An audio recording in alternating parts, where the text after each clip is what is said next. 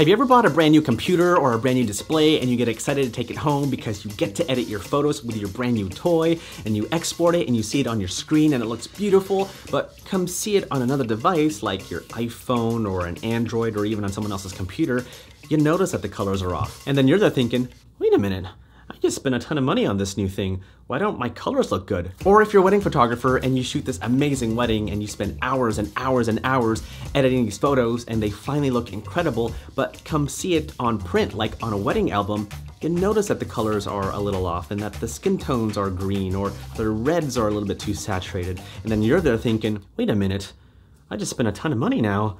Why don't my colors look good? Am I going blind? One, you could be right, in which case you should probably seek some medical help. Or two, your monitor probably isn't calibrated, which is why you should probably invest in a color calibration tool like the Spyder 5 Pro and the SpyderCheckr. Bumper! Hey guys, Sidney Diongzon here. First of all, big thanks to Datacolor for sponsoring this episode. If you don't know Datacolor, they're actually the company that makes uh, this product, the Spyder 5 Pro, as well as the SpyderCheckr. Oh, I just realized it looks like a makeup palette. Anyway, today we're gonna take a look at both these products, starting with the Spyder 5 Pro. Autofocus, autofocus,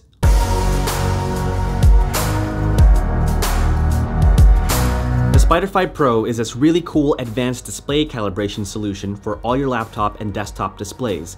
It comes in three versions, the Spyder 5 Express, which will run you about 129 US dollars, the Spyder 5 Pro, which is the product we'll be reviewing today, which will run you about 189 US dollars, and the Spyder 5 Elite, which will run you about 279 dollars. Now, why would I use a device like this to calibrate my monitor? I mean, couldn't I just use the profiles built into my computer or display? Sure, you totally could, but every company is going to have their own standards as far as, as colors and gammas go. But what this does is that it helps calibrate your monitors no matter what environment you're in, whether you're in an office space with that nasty green fluorescent or in a small studio like this. Basically what this does is that it helps calibrate your display no matter what kind of display you have, whether it's a, a laptop, desktop computer, or a big old display. Whatever you have, this tool is meant to calibrate your display to show accurate colors so that it looks good across all devices. So now that you know why a tool like this is important to have, I'm gonna show you how to use it. And it's actually really easy to use and pretty fast. I mean, the whole setup itself takes about five minutes, so uh,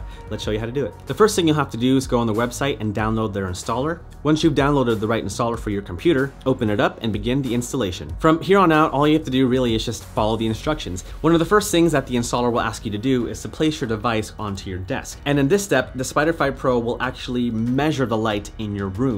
So whether you're working with tungsten lights or you're in an office and you're working with those nasty fluorescent lights, whatever environment you're in, this device is going to measure that light and use it for the calibration. The reason why this is very important is because any and all lights in your particular environment will greatly affect how you see images on your screen. So for example, if I'm working in an office and I have overlight fluorescence over me, that green cast will go onto my desk and onto my display and onto my eyes, giving me a fluorescent green influence on the images that I see. Or if you work in a darker environment and all around you are tungsten lights. Tungsten lights have a warmer temperature, and so if you're in an environment surrounded by tungsten lights, then what you see on your display is going to have a warmer influence. So basically, if you're editing photos in an office environment with those overhead fluorescents, then the images that you see on your computer in that environment may not look the same as seeing photos in a, that darker studio with the tungsten lights. See what I mean? That's why when it comes to video and post-production facilities, the editing room tends to be a little bit dark and a little more neutral so that whatever the, the colorist sees on the screen will look as accurate as possible without having um, different influences in temperature. Oh man, so much, so much science. So anyway, having something like this to measure the light in your own workspace is a really nifty tool to have so that you can edit the colors on your photos and videos accurately. After following more instructions, the installer will ask you to put your device on your screen. Just make sure to take off the lens cap, put the device on where the installer shows you, and then put the lens cap behind your computer or display as a counterweight. This part is the easiest where you just let the installer do its thing. Then once it's done calibrating, save that profile and you're ready to go. Pretty easy. Okay, so now let's take a look at some photos that I've edited before the calibration and after the calibration.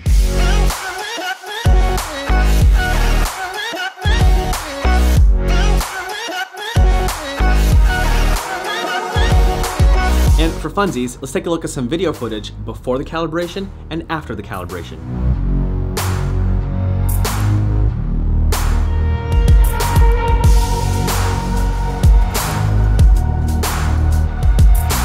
So that was the Spyder 5 Pro, but if you really want to take your coloring game to the next level, then check out the SpyderCheckr. The SpyderCheckr is this really cool and portable tool to help you get accurate colors in any environment. Using this thing is super easy. I mean, all you have to do is go to the location that you're going to shoot, whether it's photos or videos, put the SpyderCheckr on a stand or have someone hold it, take a photo of it, or take a couple of seconds of video, and in post, whether it's Lightroom, Photoshop, or even in Premiere Pro, you can use the colors on the SpyderCheckr to make sure that the reds are actually reds, the whites are actually whites, and the blues are actually blues, and so on and so forth. So the first thing you're gonna do is download and install the SpyderCheckr app from Datacolor's website. When you're on a shoot, make sure to take a photo of the SpyderCheckr in every location you're in. Once you're done with your shoot, take your photos into Lightroom and find the image with the SpyderCheckr in it. Crop the image so that the SpyderCheckr fills the screen, select the white balance dropper and click on this gray patch to remove any color cast from the location you shot. Now hover over this white patch to see if the levels are roughly 96% white.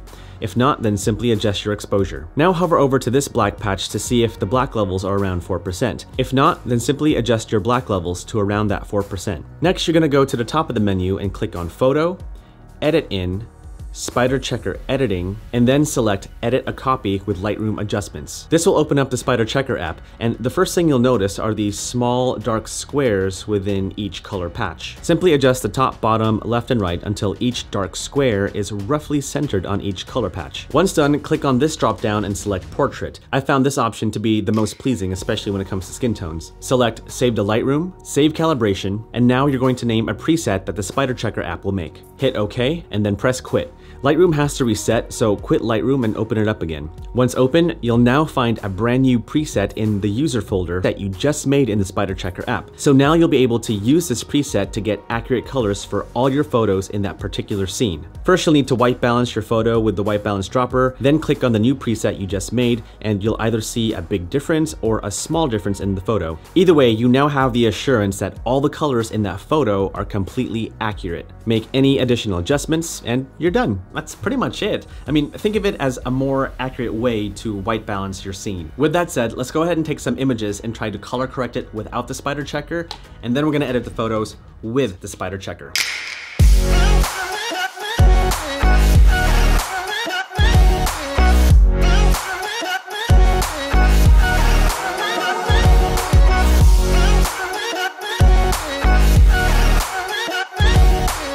And so that's the Spyder 5 Pro and the SpyderCheckr.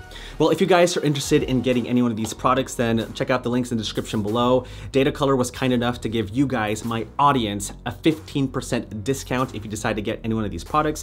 Uh, just make sure to use the promo code Sidney at the checkout. Thank you, Datacolor. So kind of you. Again, big thanks to Datacolor for sponsoring this episode. If you have any questions about the Spyder 5 Pro or the SpyderCheckr or questions about filmmaking or camera gear, then let me know in the comments below or hit me up on Instagram or Twitter. But until then, I'll see you in the next video.